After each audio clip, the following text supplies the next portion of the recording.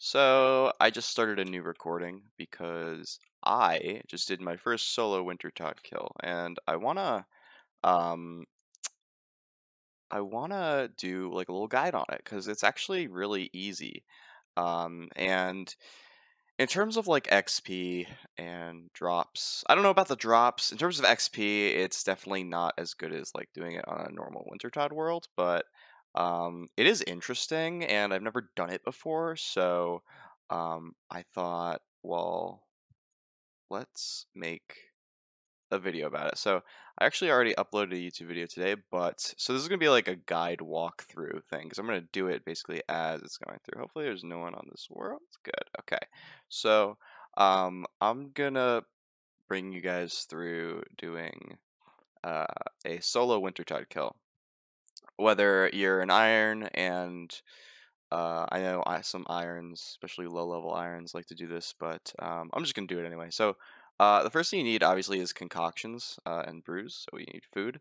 Um, so uh, I just did take five, so I'm not gonna need this many, but um, I might as well. Uh, I guess I'll only do two for right now. Um, so one of the key things I'm getting hit a lot actually, so it's good that I brought this many brews. So the main key thing that you want to do when you're doing a solo Wintertodt is um, you want all the braziers lit. So you want as many braziers lit as possible. So that's the main thing. And that's going to get you a lot of points as well. So uh, this time I'm actually going to try to get 1350, which is like the max in terms of rewards. So um, I'm going to go for 1350 here. So uh, as you can see, the percentage is already going down. So you don't need to actually feed the brazier to uh, have it like go down in health. So uh, while all the braziers are lit, I'm to chop because there's nothing else I can really do. Um, I could pick more sprouting roots, but uh, I'll get some logs in my inventory and fletch them as well so I get some extra XP, but uh, yeah. I like how when you're chopping and you get damaged, it doesn't interrupt the chopping, but uh, pretty much with every other action in terms of Wintertodt, it does interrupt it, so uh, you just got to be aware of that. So I'll fletch them, hopefully I don't get interrupted too much. I hate when I get interrupted, excuse me taking damage while I'm fletching, but alright, so this brazier needs to be lit again. And I'm zoomed like out far enough so I can see all the braziers, so if one gets burned out, I can see it. So it's already down to like 73, so I mean this is pretty it's going like clockwork here, so pretty happy about that. I found last time that as I got deeper into the kill, um, the more of the braziers went out. So I'm not exactly sure why. I don't know if the winter Wintertodt gets like quote unquote enraged or something, but um, I just found that that was the case. So I'm going to use some of my kindling now, keeping an eye out for the braziers. Uh, definitely have enough concoction here, I think, to a rejuvenation potion to heal the pyromancers when I need to, because I will need to, uh, for sure. Well, most likely, but uh, yeah. So it's going pretty well here. Alright, I'll get some more wood. Keeping an eye out for the braziers. Alright, so fix this one and relight it. Eat a little bit do some fletching. All right, that one needs to be fixed, so we'll run over there. Ah, convenient. We'll relight this one. Oh, the pyromancer needs to be healed. Okay, so I'm just going to use my rejuvenation potion on him and relight it.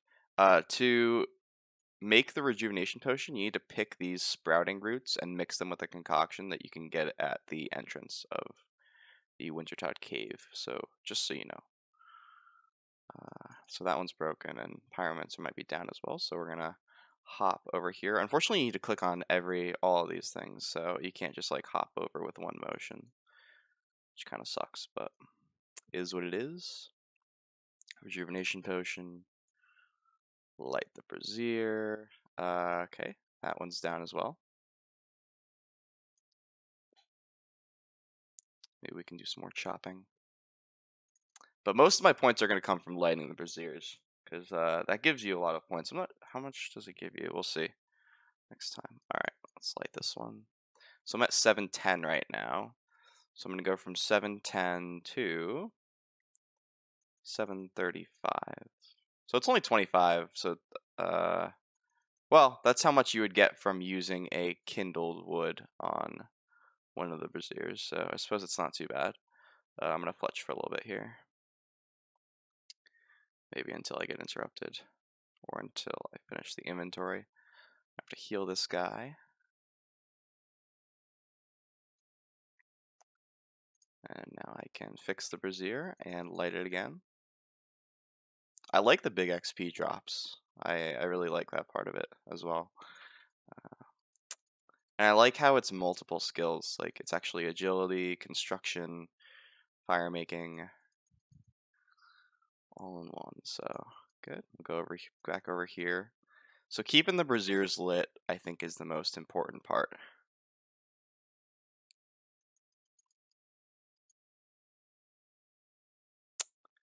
So we're gonna heal this guy.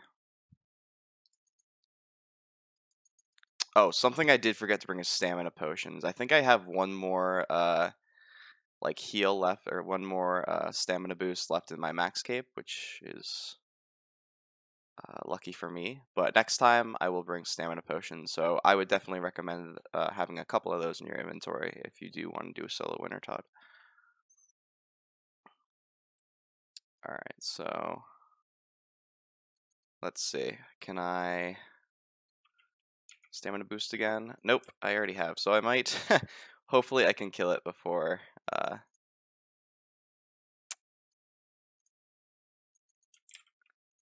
before I run out of stamina. We'll see. I might not have to keep all the braziers lit. We'll see, we'll see. We'll light that, we'll run over here. We'll run out of run energy if I run over there. So we'll light this one and then we'll feed the brazier my kindling and that might finish it off. We'll see. Might not. We might have to go back over here. Relight it.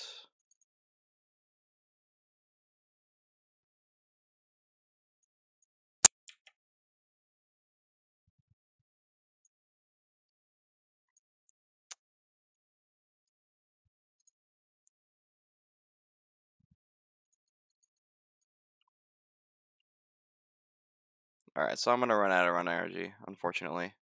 But uh, I think we should still be able to finish it off.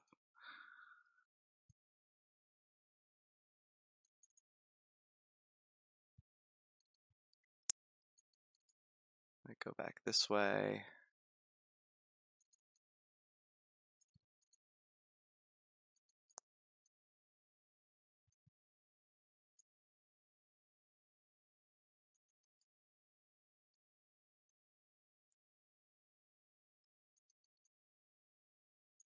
Two percent. So after I light this one, it should be pretty much done. We're at 16, 15 points, and there is the kill. So I hope you guys enjoyed this little guide slash video. It wasn't that great, but um, I do want to put it on YouTube because uh, I think it's pretty cool actually, and I think I can see myself doing more of this in the future. So thank you guys for watching. Hope you learned something, and I will see you later.